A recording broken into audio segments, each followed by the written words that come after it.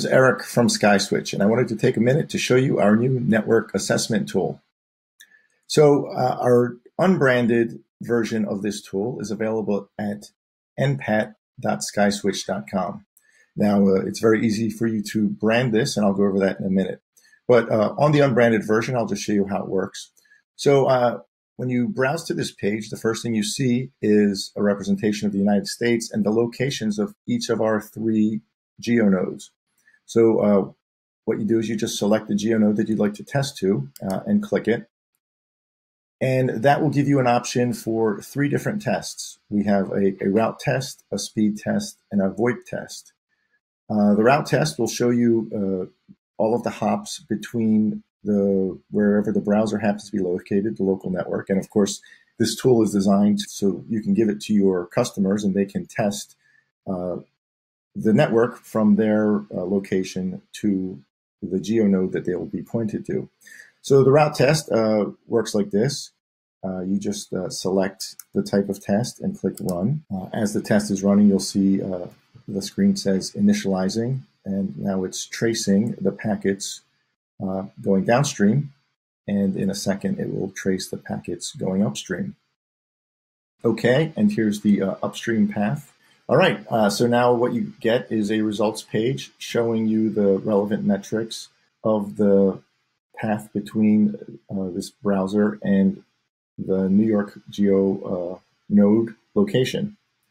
Uh, so up here are some statistics, and down towards the bottom are the actual IP addresses or hops. Okay, now once the, the test is run, you can click email support, and this will email uh, a copy of the test results to uh, the email address that you configure in your dashboard. And I'll show you that again in a second. So that was the first test type. Now, if I click uh, test type again, I'll be able to choose the next test type. This time I'm going to choose speed test. And uh, I'll click run.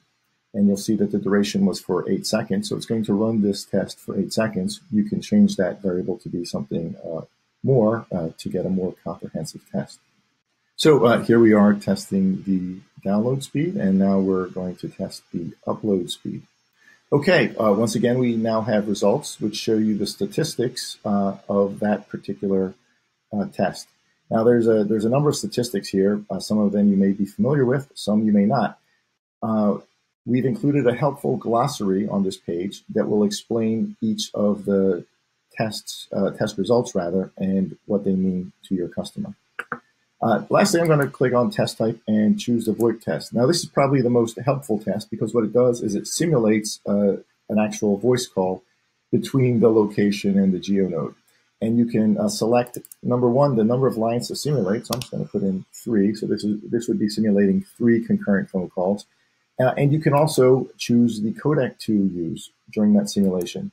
Uh, and I'm going to just stick with G711 since that is our, our uh, default codec. So now when I click run, it's going to, to simulate those calls. Okay, and, and here we have the results. Now you'll see uh, that among the results are the MOS score or mean opinion score, uh, as well as jitter, packet loss, uh, and all of the usual metrics that you're accustomed to seeing in a, in a quality of service report. Uh, again, all of these results uh, are explained in the glossary. And uh, as with the other tests, you can click email support to send results of that test to uh, an email address that you specify. So that's it. That's how the test works. Now I'm just going to spend a second to show you uh, how you can brand this to use your own look and feel and URL. So I'm clicking now over to the uh, dashboard and I'm in a, our demo dashboard. And if I come over here to reseller settings, under the branding tab, we see that there's uh, now a new uh, entry for network performance and assessment tool.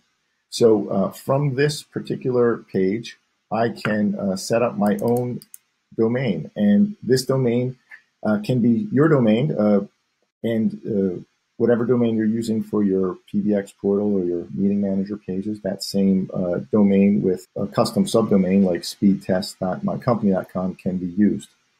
So uh, the other settings here are the title of the page that shows in the browser bar, uh, the support URL, uh, and the support email address, which is where your support emails will be sent to when somebody clicks uh, email support, and then uh, the colors and the logo that you wish to use on this page. So anyway, filling out this page and clicking update will create that custom branded page for you that you can then share with your end users.